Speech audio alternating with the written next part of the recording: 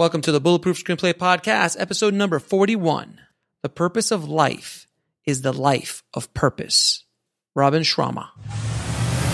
Broadcasting from a dark, windowless room in Hollywood when we really should be working on that next draft. It's the Bulletproof Screenplay Podcast, showing you the craft and business of screenwriting while teaching you how to make your screenplay bulletproof. And here's your host, Alex Ferrari. Welcome, welcome to another episode of the Bulletproof Screenplay Podcast. I am your humble host, Alex Ferrari. Now, today's show is sponsored by Bulletproof Script Coverage. Now, unlike other script coverage services, Bulletproof Script Coverage actually focuses on the kind of project you are and the goals of the project you are. So we actually break it down by three categories micro budget, indie film market, and studio film. There's no reason to get coverage from a reader that's used to reading tentpole movies when your movie is going to be done for $100,000. And we wanted to focus on that at Bulletproof Script Coverage. Our readers have worked with Marvel Studios, CAA, WME, NBC, HBO, Disney, Scott Free, Warner Brothers, The Blacklist, and many, many more. So if you need your screenplay or TV script covered by professional readers, head on over to covermyscreenplay.com. And today's show is also sponsored by Indie Film Hustle TV, the world's first streaming service dedicated to filmmakers, screenwriters, and content creators. If you want access to filmmaking documentaries, feature films about filmmaking, interviews with some of the top screenwriters and filmmakers in Hollywood, as well as educational online courses all in one place, IFH TV is for you. Just head over to indiefilmhustle.tv. So, guys, today on the show, we have Chris Vogler, who is the writer of The Writer's Journey, which breaks down Joseph Campbell's hero's journey for filmmakers and screenwriters. And I wanted to take an excerpt from his amazing course that he did with Michael Hauge called The Screenwriting Blueprint The Hero's Two Journeys. And Chris, in this uh, this clip that I'm, I'm sharing with you guys, goes through the breakdown of the ordinary world versus the special world in the hero's journey, and it's an it's kind of a part of the hero's journey that is not discussed in detail very much out in in the world. So I wanted to kind of bring this to you guys, give you guys a, a little bit of a taste of the kind of killer information that's in this course, and it has over I think 4,000 students and is one of the best selling screenwriting uh, courses on Udemy. And of course, because you guys are part of the tribe, I will give you a special discount code at the end of the episode. So sit back, take some notes, and enjoy. Now, I got my terminology mostly from Campbell. I've adapted it a little bit and I've edited here and there because he wasn't talking about movies. He was talking about myths and legends fairy tales and folklore, and they're similar, but they do have their distinctions. And I, I urge all of you to think this way. As you listen to these ideas and anyone's ideas about writing, I, I think you find there's, oh, there's a useful idea, and that's, that's right, I agree with that, and that, oh, I never thought of that before. But at some point, I think you make up your own, and you, you create your own lingo and your own uh, shared language with the people that you work with. Uh, and I think that's what you must do here is absorb it and, you know, take notes or pull out a piece here and there that sounds right to your observation of the world. This is all about how you perceive things as an artist. So you've got to make it your own. And that's why Campbell called his book The Hero with a Thousand Faces, not the hero with one face. He could have said that because, in a way, it's true. There is one general human story that keeps being told over and over. But he said, no, it's a thousand faces because it shifts with the point of view of each person and especially each culture. So cultures have some distinctions here. Now, the four movements uh, Campbell gave names to, and I have stuck by those by and large.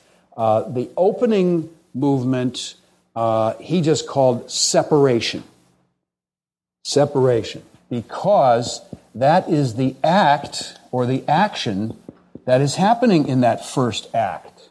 There is a lot of wordplay in this system, uh, in this way of looking at things, and uh, I find often you have to look at the words and their origins or understand two or three meanings for them to really get the full package. When we say an act in a script or a play, we mean a division of time, uh, but we also can mean an action that's being performed. And what's the action of the first quarter of most stories? It is to separate from something, from that ordinary world. So think about your own stories as we go through this and see does this apply? Does this make sense? Uh, it's no problem if, if it doesn't because we're flexible here.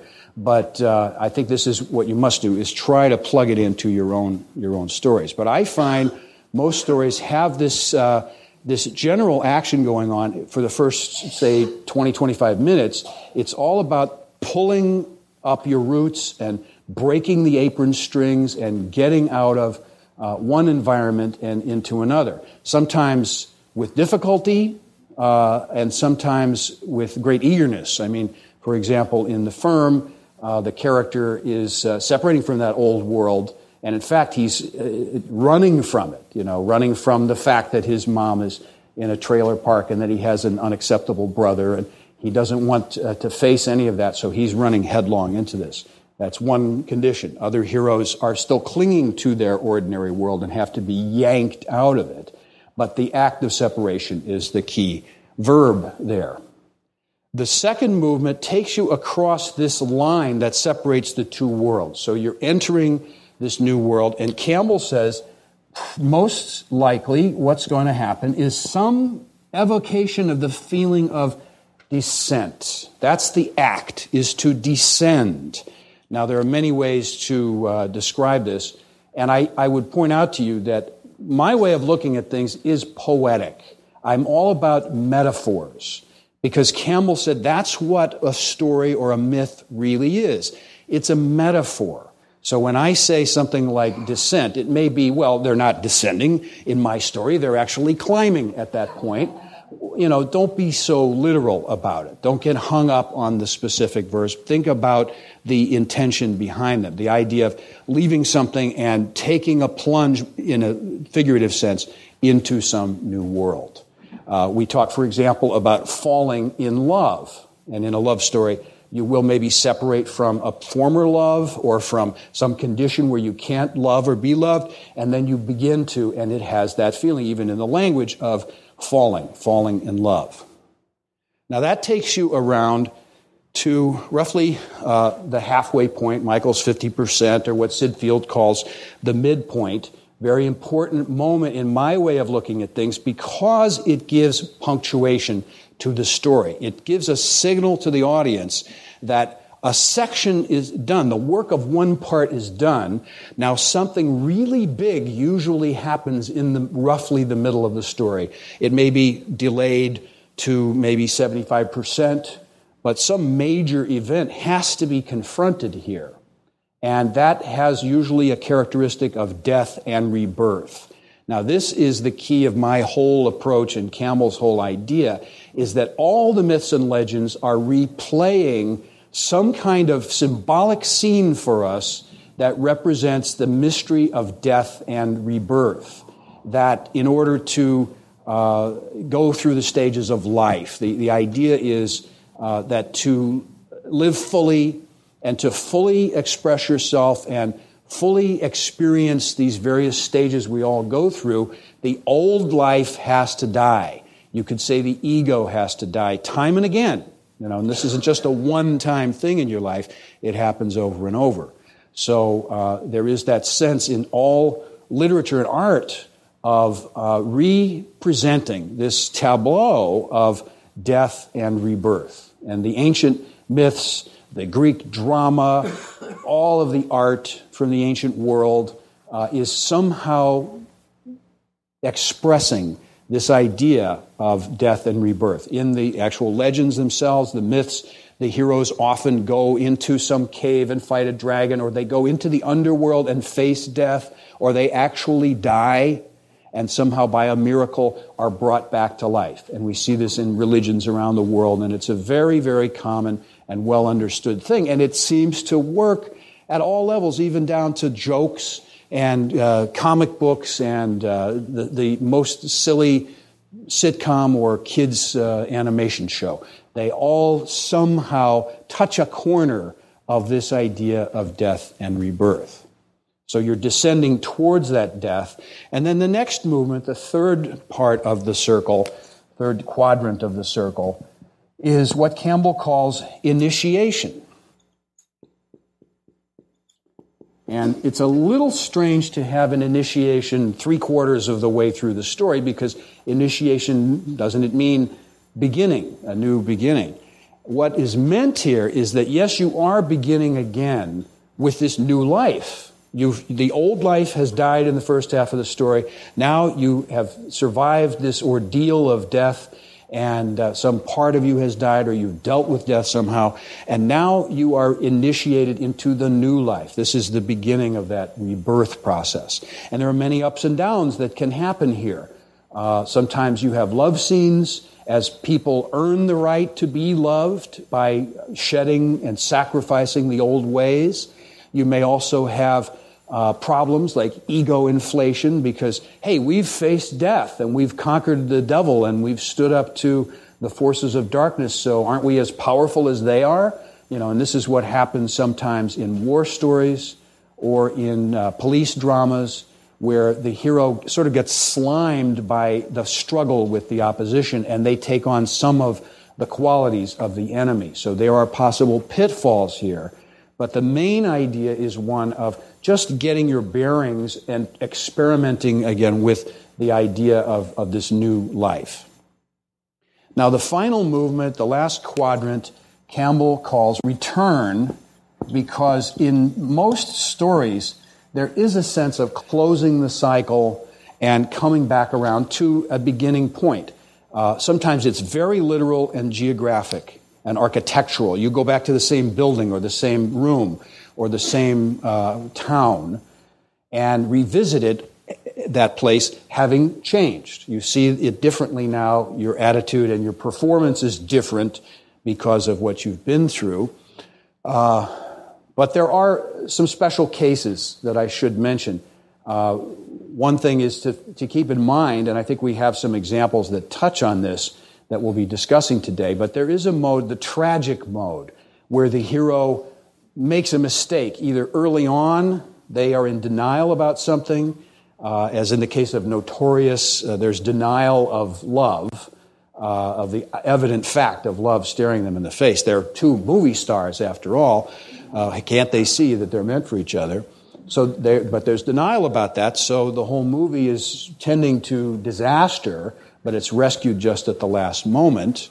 Uh, and then there's another tragic case where the hero uh, may do everything right, but then blow it at the end by sliding back to old behavior or denying, you know, the wonder of everything that he's learned so far. Uh, so the tragic case is one sort of subset of this, where they may not return or they may not complete the thing, and that's the tragedy, is that they failed. The other interesting exception is something you find in foreign films, in Australian movies, in movies from Asia sometimes. Uh, French films like to do this, and student films like to do this. They don't have this conventional closed structure.